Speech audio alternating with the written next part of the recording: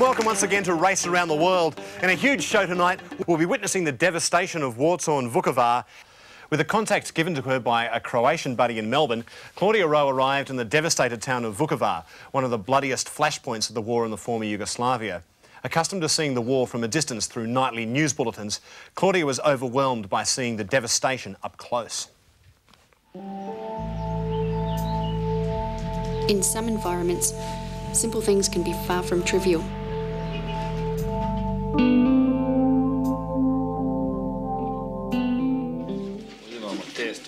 kuće.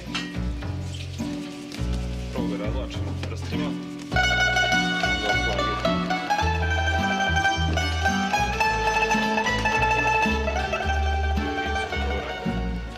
Dati malo sira, šunka, bogata pizza, mljeveno. That's good. I pizza sada spremna za pet. Today, since I ran out of electricity at my house, I knew I could count on the pizzeria as a food option. This is a pizzeria.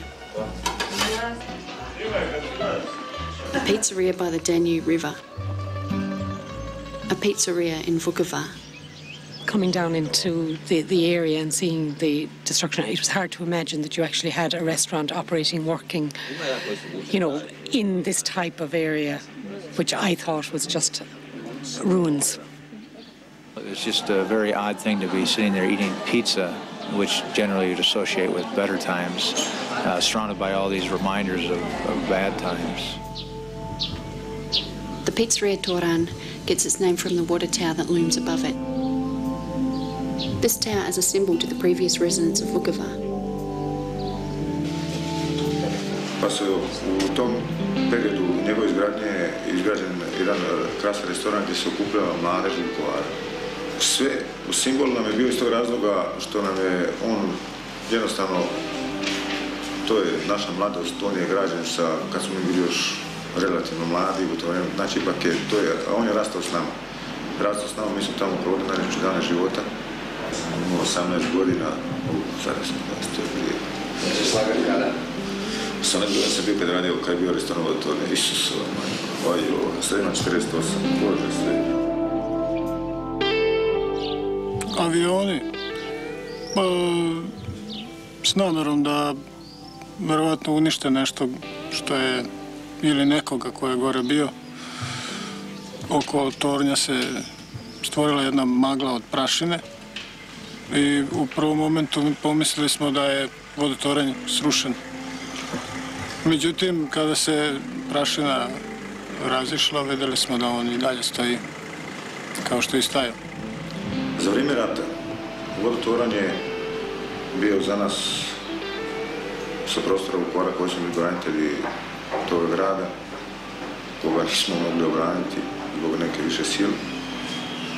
Bio je nama simbol iz jednog velikog razloga što smo mi imali ljude koji su tamo svakodnevno, kad su u Srbiji poslije granatiranja srušili za hrvatsku zastavu, su penjali gore postavili su zastavu.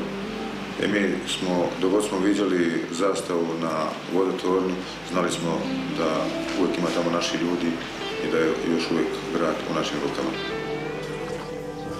On si je tukli svakodnevno da je vješao mali Ivanika. Ivica. Ivica Ivanika koji danas nestao danas.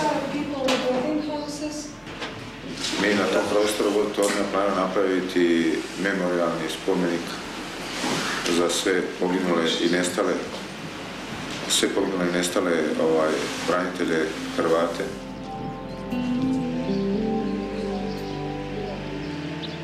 I'd never seen such destruction before.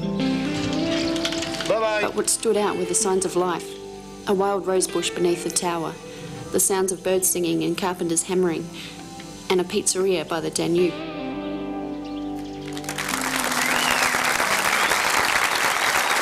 And that was Claudia Rowe in Vukovar, Croatia. Sarah.